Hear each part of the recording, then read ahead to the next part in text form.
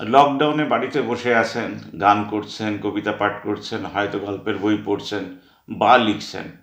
সাহিত্য নিজের জায়গায় দাঁড়িয়ে নেই সাহিত্য এগিয়ে চলেছে, মানুষের হাত ধরে এগিয়ে চলেছে। প্রথম আমরা একটা নাটক করি, যে আইডিয়াটা ছিল আমার থিয়েটার ওয়েবের কলা কুশলীরা হেল্প করলেন শুভদা হেল্প করলেন বলে নাটকটাকে আমরা লঞ্চ করে দিলাম।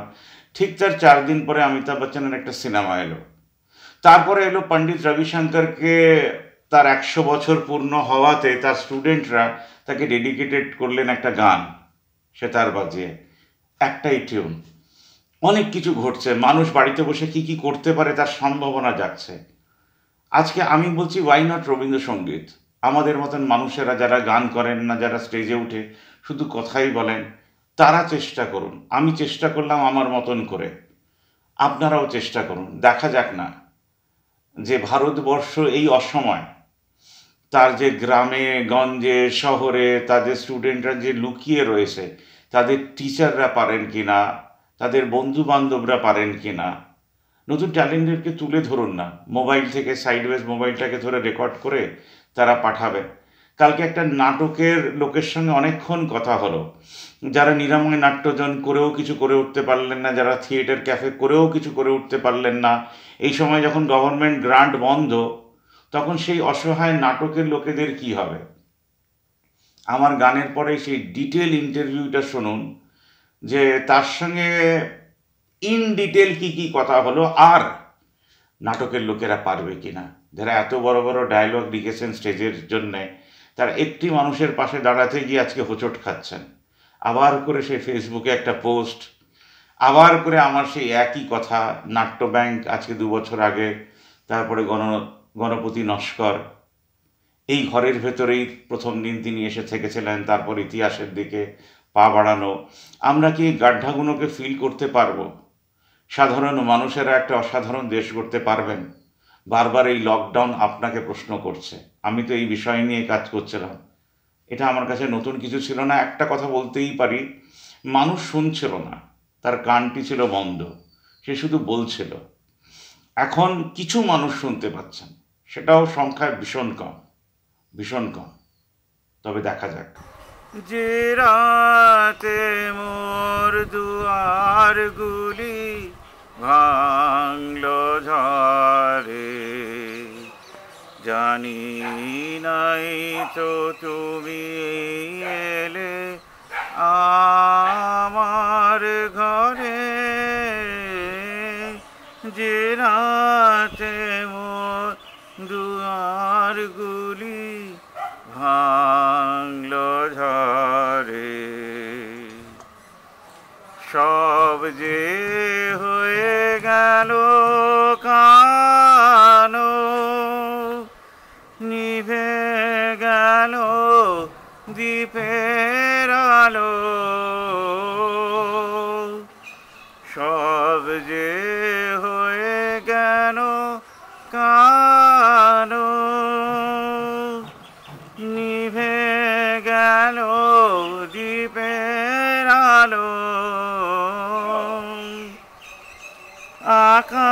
পানে হাত বাড়ালে কাহারো তরে? জানি নাই তো তুমি এলে আমার ঘরে যে রাতে মোর দুয়ারগুলি ভাঙল ঝরে অন্ধকারে রইনু পরে স্বপন মানে। ঝড় যে তোমার জয় ধ্বজা, তাই কি জানি? অন্ধকারে করে স্বপন মানে ঝড় যে তোমার জয় ধ্বজা, তাই কি জানি? সকাল বেলাচে দেখি, দাঁড়িয়ে আছো তুমি কি সকাল বেলাছে দেখি। দাঁড়িয়ে আছো তুমি কি ঘর ভরা মোর শূন্য তারি বুকের পরে জানি নাইতে তুমি আমার ঘরে যে রাতে মোর দুয়ারগুলি ভাঙলো ঝরে জানি নাই তো তুমি এলে আমার ঘরে যে রাতে মোর দুয়ারগুলি ভাঙলো ঝরে আমি গায়ক নই, তবে আপনাদের জন্য এই বন্ধের লকডাউনের চেষ্টা করলাম। খারাপ লাগলে খারাপই বলবে, যদি ভালো লেগে যায় সেই চেষ্টায় ছিলাম। আসুক এক নতুন সকাল, সাধারণ মানুষের হাত ধরে পৃথিবী বদলাক। সে তার নিজের গান করুক, পাখিরা নিজের গান করুক। ছাদ তার নিজের গান করুক, স্বপ্ন তার নিজের গান করুক। আমরা সবাই মিলে একটাই কবিতা লিখছিলাম যে কবিতাকে ভেঙে দেওয়া হয়েছিল যুগ যুগ ধরে।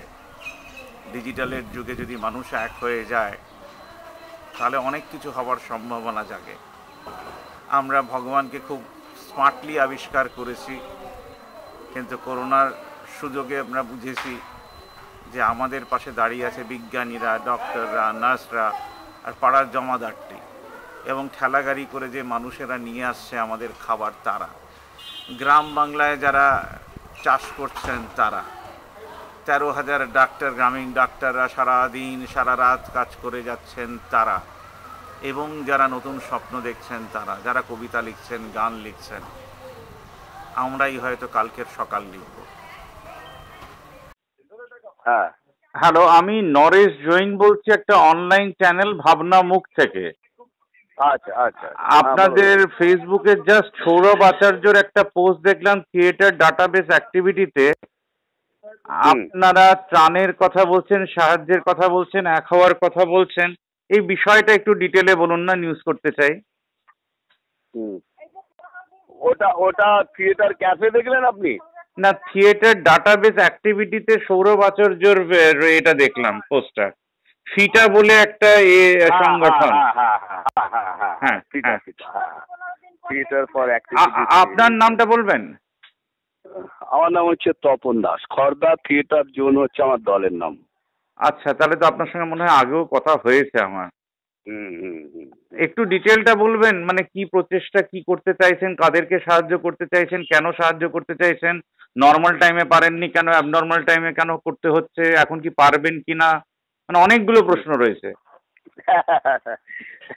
সেটা হচ্ছে যে এই যা পরিস্থিতি হচ্ছে আর কি এটা আমাদের ফিটার একটা ফান্ড ছিলই ঠিক আছে? হ্যাঁ, আচ্ছা দিয়ে আমরা যতগুলো দল আছি ফিটার হ্যাঁ সেই দলের না ফিটার তাহলে কটা দল আছে একটু বলে দিন আমাকে? প্রায় গোটা পঞ্চাশটা তো হবেই। গোটা পঞ্চাশ মাসে কত টাকা উঠতো আগে? হুম সেটা আমরা ওখানে নির্দিষ্টভাবে বাধা ধরা ছিল না। যে যে যেরকম পারতো ডোনেশন করতো। হ্যাঁ না তাও তাও একটা হ্যাঁ। মান্থলি কিছু উঠতো কি? হ্যাঁ না সেই মান্থলি আমরা রাখতাম না। আমরা সেটাকে একবারে চৌকা ধরে দিতাম। ব্যাপারটা বুঝেছেন তো? সেটা হচ্ছে যে কীরকম? মনে করুন যে মানে সিস্টেমেটিক কিছু ছিল না। যখন প্রয়োজন পড়তো তখন আপনারা তুলতেন তাই তো? না সিস্টেমেটিকটা একটা আছেই। তারপর আচ্ছা। মানে সেইভাবে তথাগতভাবে যে প্রতি মাসে ধরুন হাজার টাকা করে বা পাঁচশো টাকা করে দিতে হবে সেরকম ভাবে আমরা দিয়ে উঠতে পারতাম না ঠিক আছে? আচ্ছা। কিন্তু আমরা দু মাস তিন মাস পর পর হয়তো দেখা গেল এক হাজার টাকা করে দিলাম ঠিক আছে? মানে পঞ্চাশটায় নাটকের দল হাজার টাকা করে তিন মাস পরে দিত? হ্যাঁ সেরকম। মানে মোটামুটি পাঁচশো কেউ দুশো কেউ হাজার ঠিক আছে? এরকম ভাবে আমরা করার চেষ্টা করতাম আর কি। যে যেরকম পারতো। তাদের নির্দিষ্ট করে মানে বেঁধে দেওয়া ছিল না যে তোমাকে বাবু এই টাকাটাই দিতে হবে আর কি। কেউ হয়তো পারতো না দিত তার মানে কি কোনো আপনাদের এম ছিল না সেইভাবে স্যাটার্ন না না ছিল তো বটেই। আমাদের উদ্দেশ্য ছিল যেটা হ্যাঁ। হচ্ছে যে ফিটা ফিটা তো প্রথম কথা হচ্ছে কোনো রেজিস্ট্রেশন হয়নি এখনও পর্যন্ত সে নাই হতে পারে তাতে কি যায় আছে? হ্যাঁ। সূর্য তো এমনি ওঠে তাকে তো রেজিস্ট্রেশন করাতে হয়নি। না না সবাই তো চায় যে না সবাই বলে আমি বলি না হচ্ছে। ভালো কাজ করতে গেলে রেজিস্ট্রেশন লাগে না। হ্যাঁ। তো আমরা সেইটা দিয়ে করতাম কি যে আমাদের বাৎসরিক যে অনুষ্ঠানগুলো হতো ফিটার তরফ থেকে সেগুলোকে আমরা সেই সময় ওইটা করতাম আর। তাহলে বাৎসরিক অনুষ্ঠানটা কি হতো? সেটা হচ্ছে এই ফিটার কতগুলো কর্মসূচি ছিল যেরকম ওয়ার্কশপ করা হয় সেমিনার করা আচ্ছা তার মানে আপনারা সাহায্য কাউকে মানে নাট্যকর্মীকে সাহায্য করতেন না? না নাট্যকর্মীকে সাহায্য সেইভাবে তো কেউ আমাদের কাছে অ্যাপ্লিকেশনটা করেনি বা আমরা সেইভাবে তখন ওইভাবে ভাবা হয়নি যে হ্যাঁ, নাট্যকর্মীদেরকে সাহায্য করতে হবে হ্যাঁ। কিন্তু এই সময় যে পরিস্থিতিটা দাঁড়িয়েছে হ্যাঁ। সেখানে দাঁড়িয়ে আমরা সেই জায়গাটাকে তুলে ধরার চেষ্টা করছি কারণ গভর্নমেন্ট ফান্ড তো বন্ধ হয়ে গেছে বড় বড় চ্যানেলে শুনলাম মানে যারা দশ হাজার করে পেতেন হয়ে মানে এই পরিস্থিতির জন্য হয়তো এখন বন্ধ বন্ধ। হ্যাঁ হ্যাঁ হ্যাঁ হ্যাঁ হ্যাঁ। হ্যাঁ হ্যাঁ হ্যাঁ হ্যাঁ, কিন্তু যদি পরিস্থিতি সেরকম ভাবে একদম মিটে যায় তাহলে নিশ্চয়ই আবার না পরিস্থিতি তো মেটার এখন সময় লাগবে কারণ ইকোনমির ডাউনফল হবে তো তখন তো সাহিত্য নিয়ে তো হ্যাঁ, ভাববে না। বছর ধরে নিন এক বছর ছ মাস তো লাগবেই মিনিমাম মিনিমাম হ্যাঁ। সেটা তো লাগবে হ্যাঁ। এবার এখানে অনেকগুলো বিষয় আছে ধরুন যারা ফান্ডিং ওখান থেকে পেত। অনেকের টাকা চলে এসছে অনেকের আসেনি ঠিক আছে। এই ব্যাপারগুলো হয়েছে। হ্যাঁ তো সেখানে দাঁড়িয়ে এখন মানে ভাবা হয়েছে যে যে সমস্ত ধরুন মনে করুন যে আমার দল কথা কথা কথা ঠিক আছে। ঠিক আছে? আমাদের এবারে দু বছরের ফান্ডিং এই কয়েকদিনের মধ্যেই ঢোকা ঢোকা ছিল ঠিক আছে। অ্যাকাউন্টস ডিপার্টমেন্টে ফাইল চলে গেছে তার মধ্যেই লকডাউনটা হয়ে গেল। মানে এখন আর পাচ্ছেন না। না এখন আর পাচ্ছি না। হ্যাঁ। ঠিক আছে? বলে স্যালারি বন্ধ হয়ে গেল ফেস্টিভ্যাল। জ্ঞান বন্ধ হয়ে গেল ওয়ার্কশপ জ্ঞান বন্ধ হয়ে গেল। যে সারা বছরের যে কর্মসূচিটা ছিল সেটা পুরো ফাইল বন্ধ হয়ে গেল আর কি। ঠিক আছে? তো এবার সেখানে দাঁড়িয়ে ছেলে মেয়েদেরকে তাহলে কীভাবে সহযোগিতা করব? হ্যাঁ ফান্ডিং তো নেই আমাদের কাছে টাকা পয়সা আসেনি ফলে সবাই তো একটা আশা করে থাকে সারা বছর কাজ করার পরে তারপর দুটো পয়সা তারা হাতে পাবে। এবং যে সময় শো গুলো হয় শো এর থেকে তখন আমরা তাদেরকে ফান্ডিং করার চেষ্টা করি যাই দিই আর কি ঠিক আছে? ছোট ছোট করে। সেখানে দাঁড়িয়ে আমরা ফিটার তরফ থেকে আমাদের উদ্দেশ্যটা করেছি এই সময় যে সবাই মিলে যদি আমরা কিছু কিছু টাকা দিয়ে একটা ফান্ড করে যে সমস্ত আমাদের থিয়েটার বন্ধুরা রয়েছেন যারা একদমই মানে চলতে পারছেন না আর কি। ঠিক আছে? তাদেরকে যদি আমরা তাদেরকে কি করে আইডেন্টিফাই করছেন এই অসময়ে? এবার আমরা সেটাও আমাদের বন্ধু বান্ধবকে সবাইকে ফোন করছি ঠিক আছে। ফোন করছি। কারণ আমরা যে জায়গাটায় কাজ করি আর কি সবাই সবাইকে জানে। হ্যাঁ মোটামুটি জানে হ্যাঁ। হ্যাঁ হ্যাঁ সবাই সবাইকে জানে। এবং যারা মানে দলের সঙ্গে না থেকেও দলের বাইরে থেকে কাজকর্মগুলো করে হ্যাঁ তাদেরকেও আমরা জানি। এবার তাদের সঙ্গে নিয়মিত যোগাযোগ নিয়মিত কথা আচ্ছা আপনি গণপতি নস্করের নাম শুনেছেন? গণপতি নস্কর গণপতি হচ্ছে আমাদের এই ও লাইটের কাজ করে। না না কথা নাট্য সংস্থা। ও ও না আমি ভুল করলাম কারণ ওই গণপতি আমাদের রবীন্দ্রভারতীর ছেলে ছিল আর কি ঠিক আছে? হুম, হ্যাঁ তো এখন ওই আমাদের সোমেনের সাথে লাইটের কাজ করে না আপনি গণপতি নস্কর কথা নাট্য সংস্থার লোকটার নাম শুনেছেন? হ্যাঁ হ্যাঁ হ্যাঁ হ্যাঁ তার হ্যাঁ। কি হয়েছিল জানেন? হ্যাঁ সেটা তো জানি তো সেটা নিয়ে তো অনেক কিছু হলো। না কি হয়েছিল একটু যদি ডিটেলে বলেন? সেটা হয়েছিল ওর ক্যান্সারের ক্যান্সার না তার তার হার্টের হয়েছিল।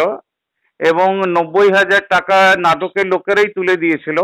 এবং আমারই একটা বক্তব্য নাট্য ব্যাংক নিয়ে আমি স্টার থিয়েটারে বলতে ডেকেছিল সোমনাথরা। এবং আচ্ছা, গণপতিদা হ্যাঁ গোমনা কি বলে গণপতিদা আমাকে এসে রিকোয়েস্ট করে যে নরেশদা এক মাস ধরে ঘুরছি কেউ পাত্তা দিচ্ছে না। সেদিন গণপতিদাকে আমার বাড়িতে নিয়ে আসি। তারপরের দিন সৃজিৎ ইতি থিয়েটার থেকে শুরু করে সত্যজিৎ থেকে শুরু করে সবাই এক হয়ে গেল। নব্বই হাজার টাকা উঠল লোকটাকে আমরা বাড়ি ফেরালাম। ঠিক করে। হুম হুম। নাট্য ব্যাগ সম্বন্ধে আপনি শুনেছিলেন তখন হুম শুনছিলাম তো। তার একটা সেমিনার টাইপের তো হয়েছিল। আমি। নিরাময় নাট্যজন বলে একটা সেমিনার হয়েছিল।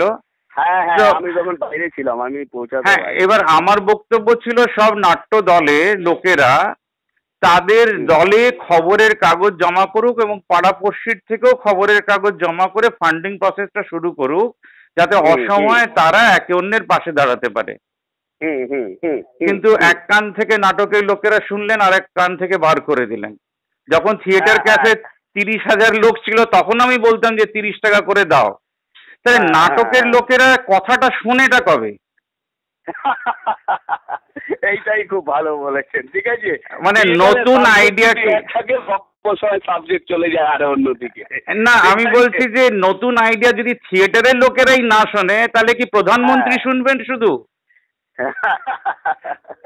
না না সে তো বটেই সে তো বটেই হ্যাঁ, এটা খুব ভালো জোকস হয়েছে ঠিক আছে হ্যাঁ। কারণ এটা একদম হান্ড্রেড পার্সেন্ট আপনার সাথে আমি একমত ঠিক আছে হ্যাঁ, যেহেতু একটা একটা পুরোনো ফান্ডিং চলতো আমি জানি একটুখানি আপনিও জানবেন আমার সিনিয়র যে মেঘনাথ ভট্টাচার্য বিভাস চক্রবর্তীরা প্রকাশ। ভট্টাচার্য এরা প্রকাশ যাতে নিরাময় নাট্য জয়নের সেই সেমিনারেই বললেন যে আমরা প্রায় চালাতে পারছি না এবং হ্যাঁ, হ্যাঁ, দুর্ভাগ্যবশত বলুন ভাগ্যবশত বলুন ওই রেকর্ডিংটা পুরোটাই আমার করা।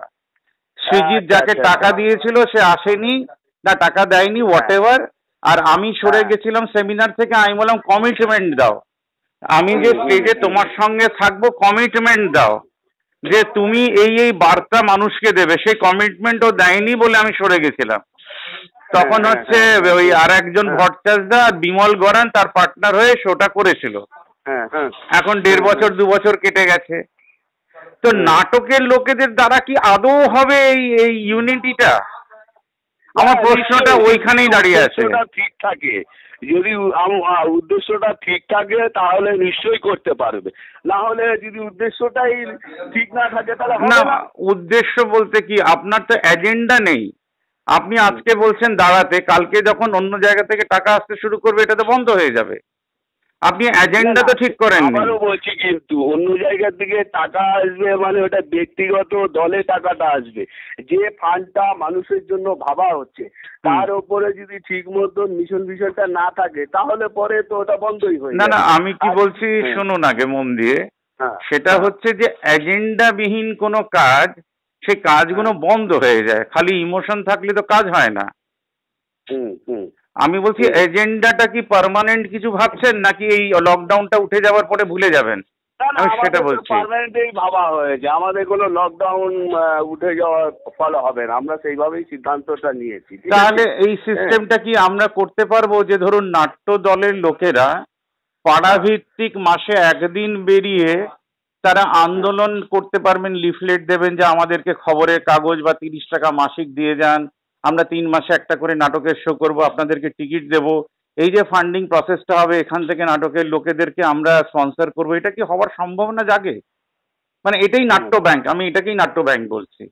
না না সেটা আপনার চিন্তা ভাবনাটা ঠিক আছে খুবই ভালো চিন্তা ভাবনা কিন্তু সময়ের সঙ্গে তো সবাইকে মিলে চলতে হবে। কারণ সেই সময় ধরুন আমরা একটা রিপেটিং বিলি করব ঠিক আছে। ধরে নিলাম যে আমরা তপন থিয়েটারের সামনে গিয়ে আমরা বিলি করছি। বা না আমি মাসে একদিন না আমি একাডেমি তপন থিয়েটারের কথাই বলছি না। কারণ আমার তপন থিয়েটারকে দেখে কি লাভ? ধরুন খর্দায় আপনি আছেন হ্যাঁ, তো হ্যাঁ। খর্দায় মাসে একদিন রবিবার বিকেল চারটে থেকে ছটা দু ঘণ্টা কি দেশকে দেওয়া যায়? হ্যাঁ কেন দেওয়া যাবে না? নিশ্চয়ই দেওয়া যাবে। তাহলে এই দু ঘন্টায় যদি হাজারটা লিফলেট যায় আপনাদের বিখ্যাত মানুষদেরকে দিয়ে লেখানো বক্তব্য দিয়ে তার সঙ্গে একটা হ্যাঁ, ইউটিউব লিঙ্ক দিয়ে যে আমরা কি ভাবছি। ধরুন হ্যাঁ, আপনি পঞ্চাশ জনের ইন্টারভিউ আমাকে পাঠালেন আমি এডিট করে কালকে ভাবনা মুখে দিয়ে দিলাম। যে নাটকের লোকেরা একটা পারমানেন্ট পদক্ষেপ নিতে চলেছে মাসে একদিন দু ঘণ্টা তারা দেশকে দেবে তাতে জনগণ উঠে দাঁড়াক নাট্যকর্মীর পাশে দাঁড়াক নাটক দেশটাকে এগিয়ে নিয়ে যাবে। এরকম যদি কিছু সলিড লেখা থাকে আর আপনি যদি পঞ্চাশ জনের বক্তব্য আমাকে ভিডিও করে পাঠাতে পারেন আমি কালকেই এপিসোড বানিয়ে দেবো। কিন্তু আমার কথা হচ্ছে কংক্রিট একটা পদক্ষেপ যে মাসে একদিন দু ঘণ্টা আমরা দেশের জন্য নামবো। পোস্ট করোনা আমরা হাওয়ায় হাওয়ায় ছিলাম মানে প্রি করোনা। আর পোস্ট করোনা আমরা মাটিতে ল্যান্ড করলাম এবার আমরা মানুষের হয়ে কাজ করব। নাটকের লোকেরা কি কথাটা বলতে পারবে? হ্যাঁ, আমার আমার মনে হয় নিশ্চয়ই খুব ভালো সাবজেক্ট এবং করা উচিত। হ্যাঁ করা উচিত আমার মনে হয় এটা। হ্যাঁ। তাহলে আমরা একটা জায়গায় কমিটেড আমি বলছি কমিটেড ইন্ডিয়ান্সকে কি আমরা পাবো? নাকি হতে পারে দেখছি চলতে পারে এটাতেই হারিয়ে যাব। হান্ড্রেড পার্সেন্ট আমি কমিটেড করতে পারি ঠিক আছে? কারণ আমি কাজকে ভালোবাসি আমি আপনাদের একজন ক্ষুদ্র শিল্পী আমি ফুল টাইম থিয়েটারটাই নিয়ে আছি ঠিক আছে? হ্যাঁ, হ্যাঁ, হ্যাঁ। তাহলে মাসে একটা- মানে আমি- আমি- আমি আমার আপনার বয়স কত? থিয়েটার আমার প্রফেশনাল থিয়েটার আমি থিয়েটার নিয়েই সবকিছু করি আচ্ছা আপনার আপনার বয়স কত? কত হবে? এই সময় ধরুন সেভেন্টি থ্রিতে জন্ম আমার। সেভেন্টি থ্রিতে জন্ম তার মানে আপনি আমার চেয়ে ছয় আর তিন ন বছরের ছোট। হুম। আমি এখন ফিফটি সিক্স আচ্ছা। সেকেন্ড থিং হচ্ছে যে আমি এইটা ফোনে রেকর্ডিং করছিলাম আমাদের টোটাল ইন্টারভিউটা মানে আপনার সঙ্গে যে কথোপকথন চলছে আহ, এটা হয়তো ইতিহাসেও যেতে পারে যে আপনি একটা কমিটমেন্ট বলছেন যে দু ঘণ্টা আপনি নাটকের জন্যই। দেবেন যেটা সাধারণ মানুষকে আপনার জায়গাতেই আপনি লিফলেট বিলি করবেন তাতে মানুষ এলো কি এলো না বয়ে গেল। কিন্তু মাসে একদিন দু ঘণ্টা আমরা সাধারণ মানুষের কাছে যাব। তারা যে খবর কাগজ ডোনেট করবে তাও টাকা ডোনেট করবে তাদেরকে আমরা টিকিট দেব তিন মাসে একটা শো করে এবং তাদেরকেও বলব যে ভিডিও করে তোমরা পাঠাও আমরা সেটা হ্যাঁ। ভাবনামুখে পাঠাবো এবং ভাবনামুখ দেখাবে নতুন ট্যালেন্টদেরকে সে গান হোক সে কবিতা হোক সে কথা হোক সে ডিবেট হ্যাঁ, হোক হ্যাঁ। এটা তো। করা যেতেই পারে।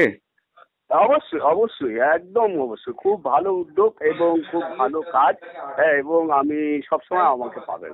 তাহলে দাদা আপনি আমাকে। একটা আপনার ছবি পাঠিয়ে দিন। কালকে আমাদের এই। টেলিফোনিক ইন্টারভিউটা টোটালটাই আমি আপলোড করে দেব। সব নাটকের মানুষেরা শুনুক যে এটা হলেও হতে পারে। হুম হুম হুম কোনো ঠিক আছে। ঠিক। আছে বা আমার যদি ওরকম হয় আপনি আমার ফেসবুক থেকেও ছবি নিতে পারেন না আমি এত খুঁজে পাবো না। আপনি আমাকে দয়া করে লিঙ্কটা দিয়ে দিন। আপ- এই নাম্বারটাই আমার হোয়াটসঅ্যাপ নাম্বার এটাতেই আমাকে ছবি দিয়ে দিন। ওকে ওকে আমি রাত্রি পাঠিয়ে দিচ্ছি ঠিক ওকে আছে? ওকে ওকে ওকে। ওকে ঠিক আছে। ভালো থাকবেন ভালো থাকবেন। ভবিষ্যতের জন্য ভালো থাকবেন। হ্যাঁ নিশ্চয় নিশ্চয় আপনিও খুব ভালো থাকুন। হ্যাঁ। এবং এই সময় তো খুবই এবং নাটকের লোকেরাই দেশকে পথ দেখাক। এবং আমরা আমরা কিন্তু আরেকটা কাজ করেছি দাদা। আমরা প্রচুর লোককে আমরা একটা এই এই প্রসেসিং এ আমরা খুব আমরা যে এলাকায় থাকি সেই। এলাকায় মোটামুটি আমরা ধরুন যারা বিল্ডার্সের লোক আছে প্রমোটার আছে যারা। একটু উঁচু র্যাঙ্কের চাকরি করেন ডাক্তার আছে ইঞ্জিনিয়ার আছে তাদের কাছে কিন্তু আমরা গিয়েছি। গিয়ে তাদের কাছ থেকে কেউ একশো কিলো পঞ্চাশ কিলো কেউ দুশো কিলো চাল ডাল দিয়েছে। ফলে আমরা সেটাকে প্যাকেজ করে এবং প্রায় মোটামুটি ধরে নিন তিন থেকে চার হাজার মানুষের কাছে আমরা পৌঁছে ওরে বাবা অসাধারণ। আপনার কাছে কিছু ছবি থাকলে তাহলে সেটাও পাঠিয়ে দেবেন। আমি কালকে ইন্টারভিউর সঙ্গে ছবিগুলো ডিসপ্লে করে দেবো। হ্যাঁ হ্যাঁ হ্যাঁ। ঠিক আছে তো আমরা হ্যাঁ। সেটাও করেছি হ্যাঁ, এবং আমরা হ্যাঁ। আবার সিদ্ধান্ত নিয়েছি যেটা। হচ্ছে চোদ্দ তারিখে তো লকডাউনটা উঠে যাওয়ার কথা আছে যদি। চোদ্দ তারিখে না ওঠে আর কি। তাহলে পরবর্তী কর্মসূচিটা আবার আমরা ওইভাবে তাহলে আপনি খালি একটা ছোট্ট হাতে লিফলেট যদি লিখে নিতে পারেন বড় বড় করে একটু লিখে নিয়ে জায়গায় জায়গায় লাগিয়ে দিলেন আপনাদের সবাইকে বলুন পুরনো খাতা বই পুরনো যা আছে আপনাদেরকে ডোনেট করে দেবে সেটাকে বিক্রি করেও আপনি ফান্ডিং করতে পারবেন।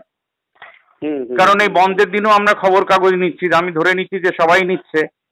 কেউ হয়তো খবরের কাগজ বিক্রি করেনি পুরনো পড়ে আছে বাড়িতে একশো দুশো টাকা ওখান হ্যাঁ, থেকেও জেনারেট হয়ে হ্যাঁ। যাবে। হ্যাঁ তো একটু। ওটাকেও টার্গেট করে নিন। তো ঠিক আছে এইগুলো এইভাবে আমরা কাজটা করছি আপনি আমাকে তাহলে কি আচ্ছা আরেকবার নামটা জিজ্ঞেস করে নিন আরেকবার বলে দিন। আমার নাম হচ্ছে তপন দাস খর্দা থিয়েটার জোন হচ্ছে আমার দলের নাম। ঠিক দাদা। খর্দা কিন্তু প্রচুর কাজ করছে। খর্দার মননের খবর তো আমি করলাম রোধারও খবর করলাম। হ্যাঁ রোধা আরও ডিএইচে হ্যাঁ। আর মননের খবর তো আমি রেগুলার করছি। আচ্ছা। যাক আমার ভালো লাগবে যে নাটক নাটকের খবর করতে পারব। আর এটাও বলে দিই আপনাকে ইন্ডিয়ার প্রথম ডিজিটাল নাটক এই লকডাউনের পরে আমি করেছি তারপরে অমিতাভের ফিল্ম রিলিজ হয়েছে কিন্তু। মাথায় রাখবেন। আচ্ছা আচ্ছা আচ্ছা আচ্ছা। থিয়েটার ওয়েবকে দিয়ে আমি ওটা কাজটা করিয়েছি আইডিয়াটা আমার আমি আপনাকে শেয়ার করে দিচ্ছি। হ্যাঁ হ্যাঁ এই- এইটাই আমার হোয়াটসঅ্যাপ নাম্বার তো হ্যাঁ আমি দিয়ে দিচ্ছি হ্যাঁ, দিয়ে দিচ্ছি দিয়ে দিচ্ছি। হ্যাঁ হ্যাঁ ঠিক আছে ভালো ঠিক আছে আমি রাত্রে ছবি পাঠিয়ে দিচ্ছি হ্যাঁ, হ্যাঁ একটু পরে। হ্যাঁ, ওকে দাদা। ওকে। চলো।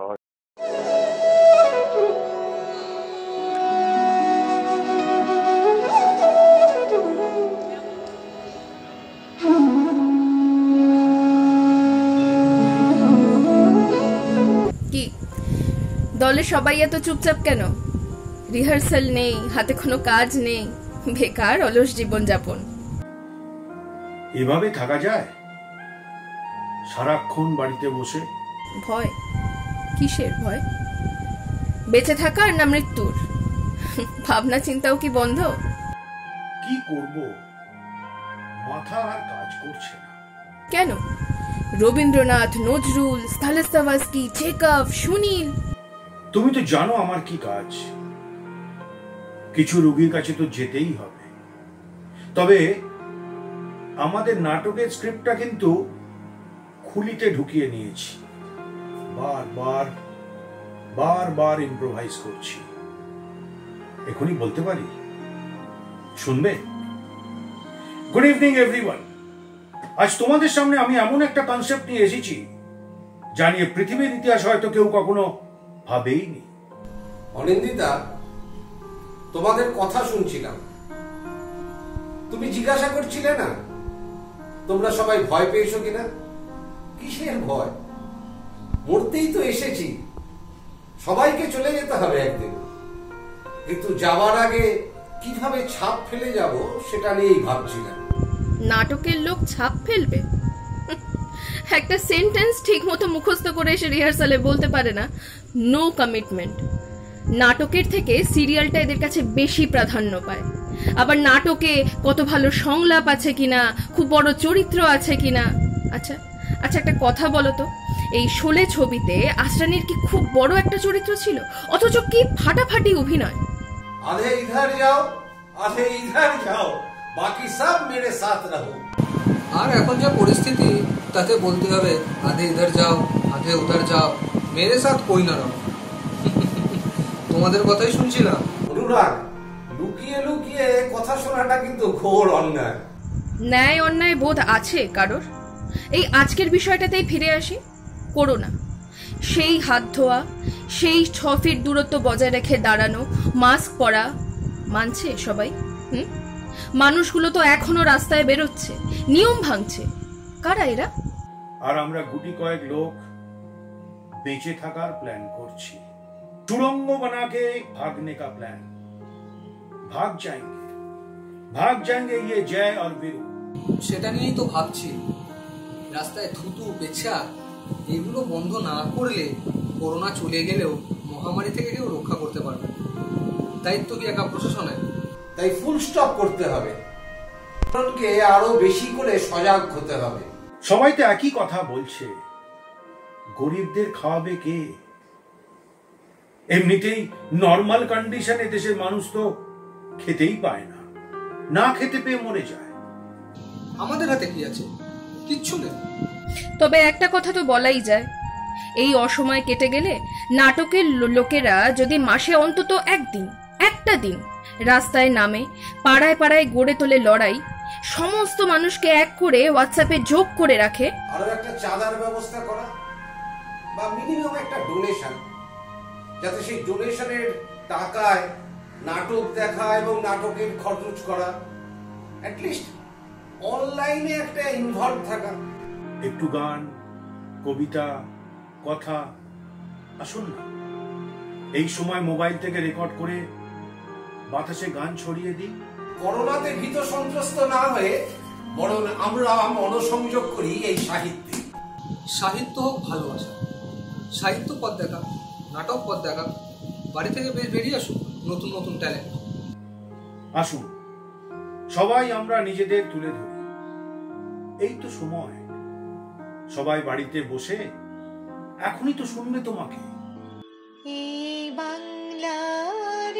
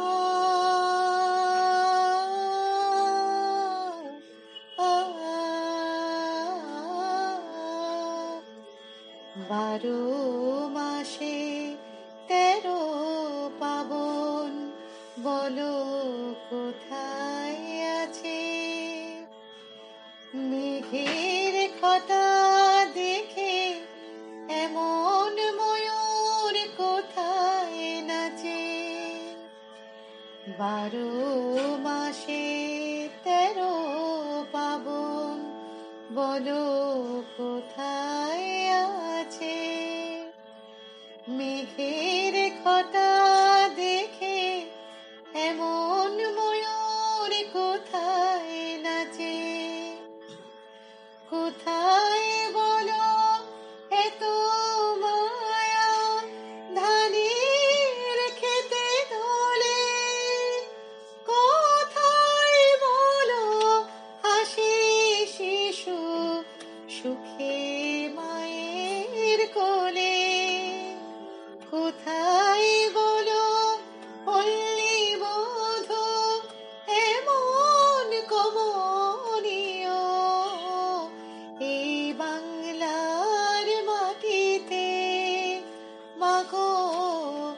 জন্ম